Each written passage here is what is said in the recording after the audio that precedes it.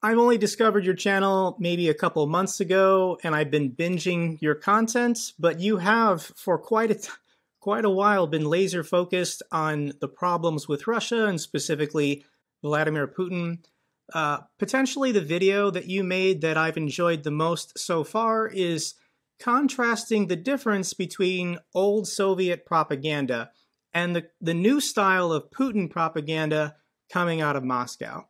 For our audience who haven't seen that video, can you explain the difference between uh, Kremlin propaganda 30, 40 years ago and Kremlin propaganda today? It's quite a basic um, difference. Soviet propaganda tried to persuade you of an alternate picture of reality, tried to paint a world and invited you to believe in it. Now, at the very end of the Soviet project, nobody could believe in it. So it was a kind of a game.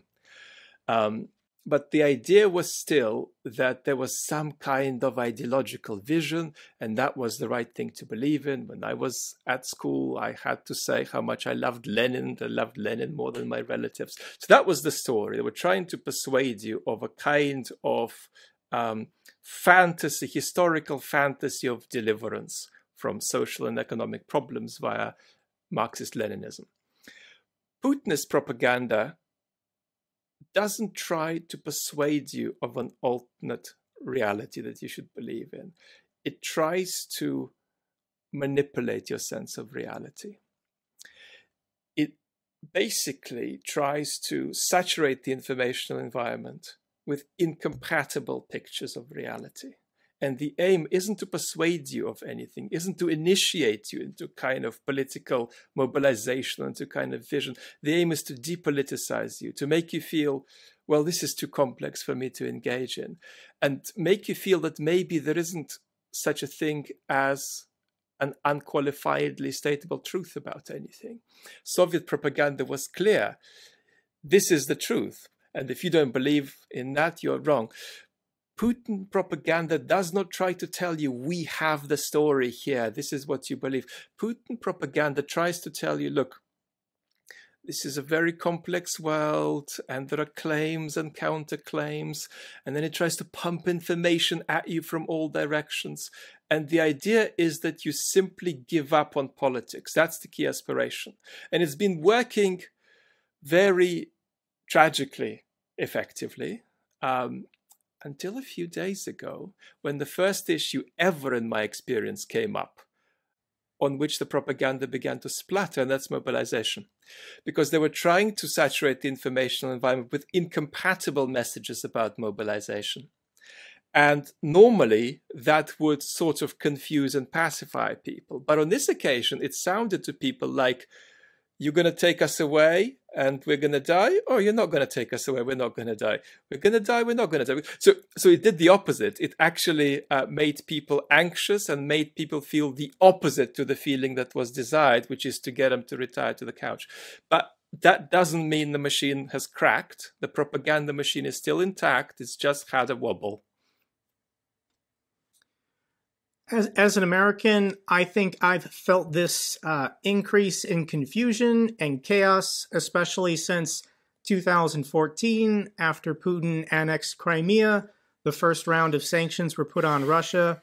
I think it's at that point in 2014 that Putin had already decided he was going for all of Ukraine. Uh, they were holding these exercises on the border every year, amassing hundreds of thousands of soldiers, war gaming, prepping. Uh, peace was never an option. Putin, in my opinion, was always going for Kiev.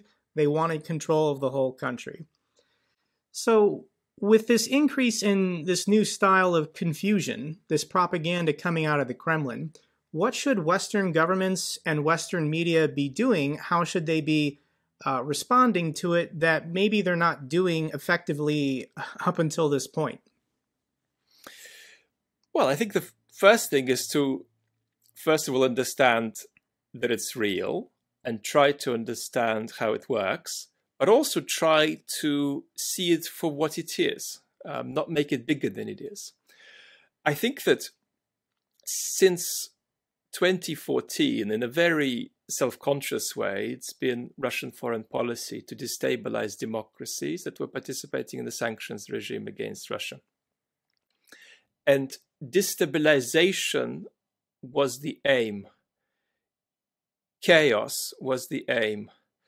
Loss of trust, loss of faith in democracy was the aim. The aim has never been to take sides. Um, so it's important to understand that um, it, it's completely devoid of loyalty, this sort of Russian intervention. If it fits them to go for Le Pen or uh, Trump for a few weeks, they will do that. If it then fits them to go for Biden, indeed, for some bizarre reason, they will do that too. So we shouldn't think too much of Russians as being sort of tied to and supporting ongoingly political, particular political candidates. Um, although sometimes they would support somebody for a period of months, but that can always change. I think that short of dealing with what they're up to technically, there's a kind of important political lesson about how we should respond, and that's about understanding what their main sort of goal is. And the goal is probably that we freak out about their interference. And so, what I like to say is that the point of the interference isn't so that the interference does damage to us, but that so, so that it seeds panic, conflict, and confusion. And that, our reaction to interference, is then what damages our democracy. So, my advice around this is to do the opposite of what we're often doing, which is to try to depoliticize our way of understanding Russian interference in our societies.